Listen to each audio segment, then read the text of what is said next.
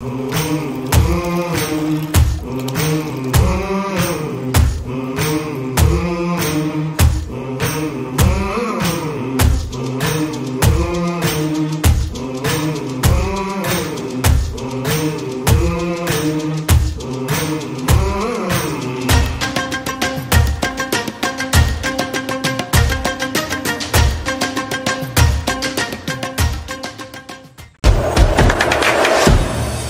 With you, I can be sad with you.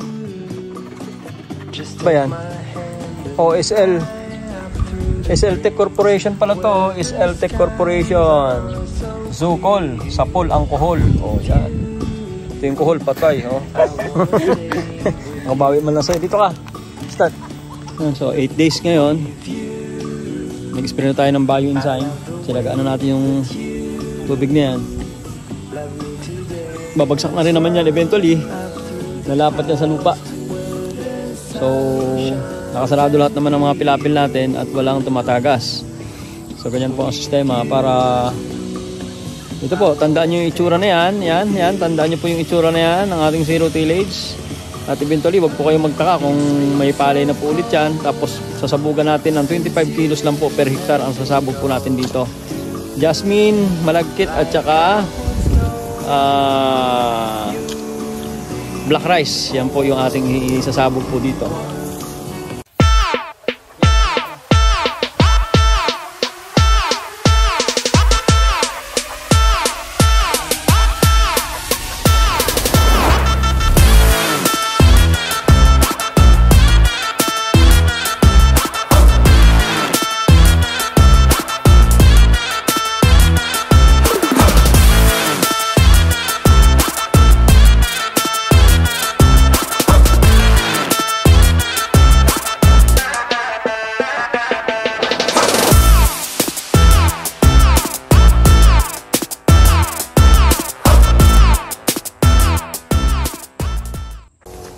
Yes, alright.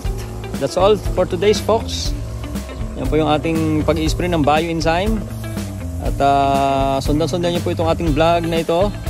At sana makatulong po sa mga farmer na meron silang magaya na matipid na klase ng pagsasaka para mas mababa yung tinatawag na production cost natin. Hindi na tayo nagbabalungkot ng lupa. Ah, maganda rin po yun kasi yung lupa nga ay hindi masyadong nawawas out yung topsoil sa ganung paraan. Alright, thank you very much mga kagrit. Lagi tatandaan sa ating munting channel, Wala TV, Farmers ang Bida!